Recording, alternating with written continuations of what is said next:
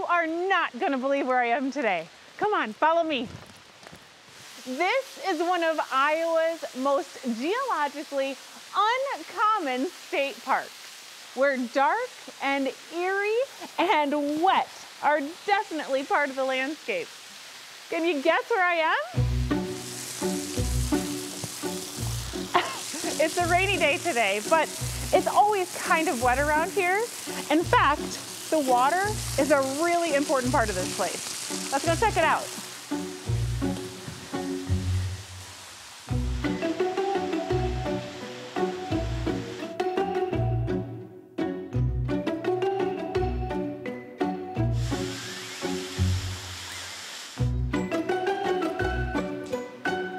This is one of the caves at Maquoketa Caves State Park. Now, some of the caves you can only see if you get down on your knees and crawl through them. But some of them, like this one, you can walk through.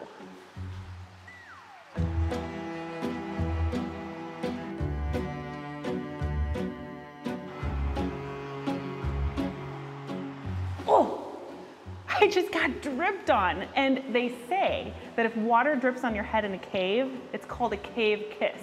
And if you get a cave kiss, you'll have good luck.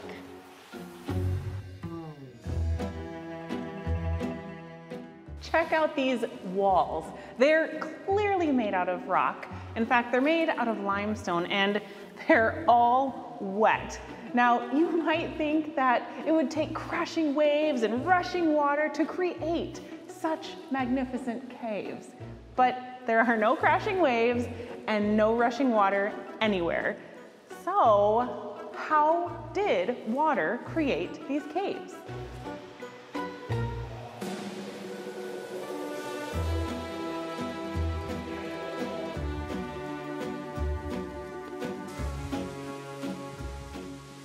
In this beautiful park with trees, bluffs, and lots of nooks and crannies, amazing high spots, and mysterious low spots, the evidence of how Iowa's landscape has changed and continues to change is right before our very eyes.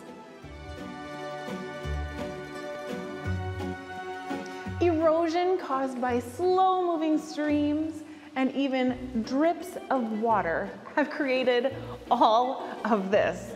So while there's no crashing waves, even little drips of water over thousands and thousands of years can create massive changes, like the Maquoketa Caves right here in Iowa.